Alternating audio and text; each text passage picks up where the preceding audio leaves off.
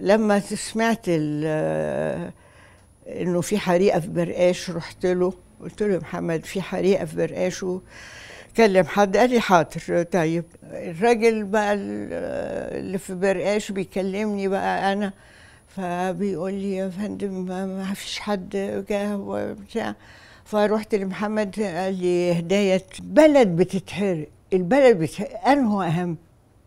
البلد بتتحرق وتقولي لي أكلم حد عشان برقاش.